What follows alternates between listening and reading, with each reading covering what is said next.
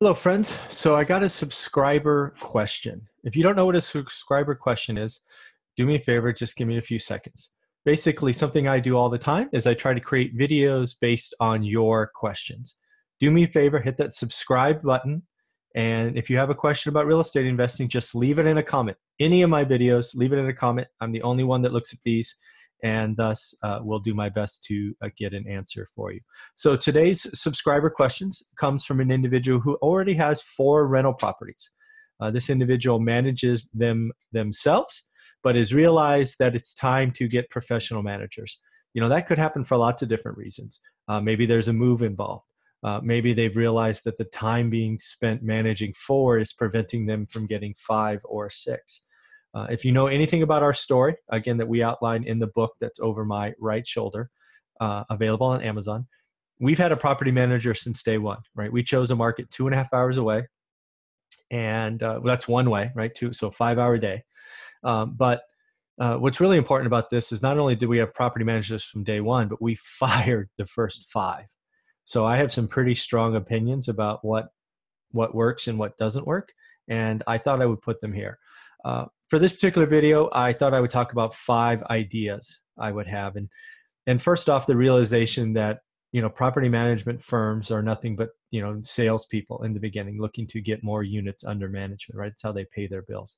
So realize a lot of their conversations are going to sound good. And, and sometimes you don't know until you test them. But here are the things that I try to weed out or I would try to figure out in the beginning.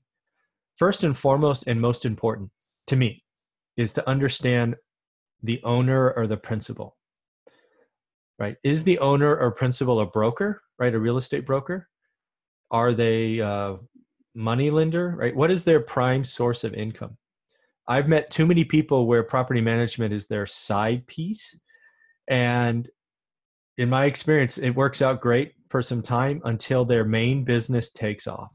This bit us really hard when we were working with a team for a year i think a couple of years and then the crash happened this particular individual and his team started getting lots of reo units. And these reo units were coming with significant upfront fees and then commissions when they sold. So guess what they did? They put 99% of their focus on getting more of those and processing those and they were probably working 100 hour weeks at the time. I get it. But my property management business and tenants fell off a cliff and um, that's not okay. So I'll never work with another team where the owner is not an investor first. I would prefer them not to be anything else. I want them to be a real estate investor, and I want them to own, you know, units. I don't want to hear, "Hey, they own their primary home." Right? If the owner of the company doesn't see value in investing in their market, I wonder why they're property managers, right? So that's again my biased my experience for sure, but hey, my i was asked the question so i'm giving you my answers.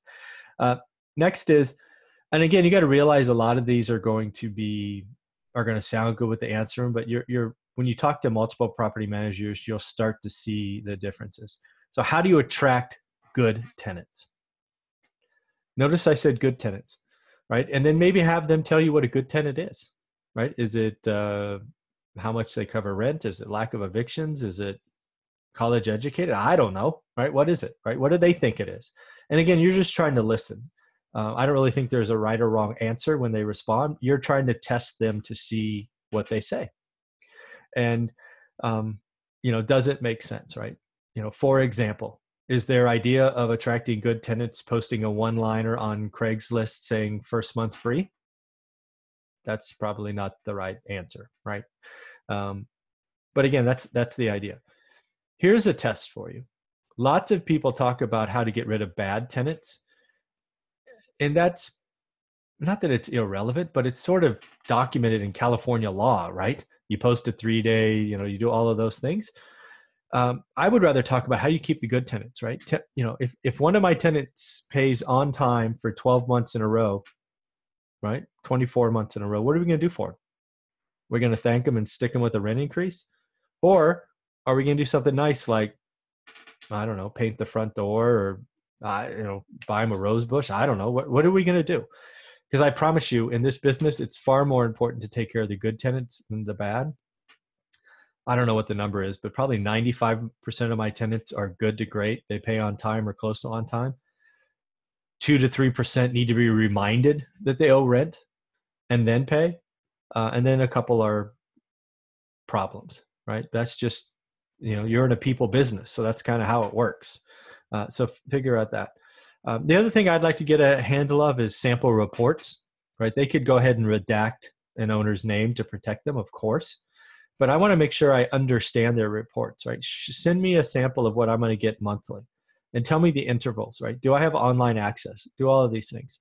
Uh, I've seen some reporting systems that are kind of on a cash basis and others on an expense and and I'm an accountant by training with an MBA and some of them I can't figure the ins and outs. And if it's too hard to figure out, what that tells me is, you know, not that they are hiding something, but they could be hiding something.